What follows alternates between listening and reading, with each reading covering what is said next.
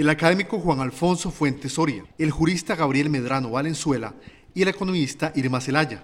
Conforman la lista de tres nombres para la vicepresidencia de la República que el presidente Alejandro Maldonado envió al Congreso. De estos tres nombres, saldría nuevo vicepresidente de Guatemala, puesto vacante desde el 2 de septiembre, luego la renuncia del ahora exmandatario Otto Pérez. Con amplia experiencia jurídica, el abogado Gabriel Medrano Valenzuela, de 63 años, es uno de los nombres que forma parte de la terna para la vicepresidencia.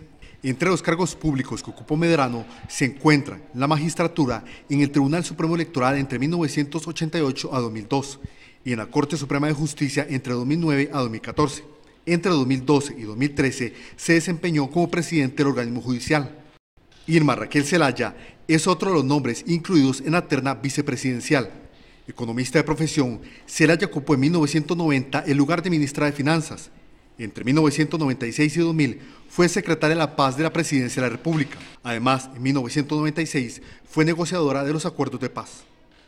La terna se cierra con el académico Alfonso Fuentes Soria, de 68 años de edad, quien a pesar de que ha estado vinculado con la política de su país, sus mayores aportes se dan en el plano educativo.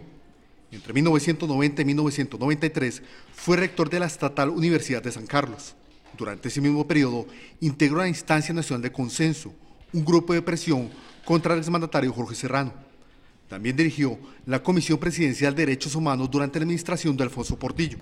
Actualmente se desempeña como secretario del Consejo Superior de Universidades de Centroamérica. A pesar de que el Pleno del Congreso puede rechazar la terna propuesta por el jefe de Estado, se espera que este jueves la vicepresidencia del país quede cubierta con alguno de estos nombres.